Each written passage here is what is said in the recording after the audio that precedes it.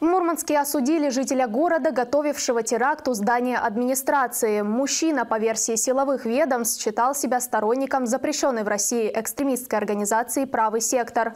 Уголовное дело против подозреваемого было возбуждено еще в декабре 2019 года. Сотрудники ФСБ задержали северянина как раз в тот момент, когда он пытался забрать самодельное взрывное устройство большой мощности из тайника. Суд приговорил местного жителя к лишению свободы сроком на 14 лет с ограничением свободы на срок 1 год и 6 месяцев, назначением штрафа в размере 200 тысяч рублей.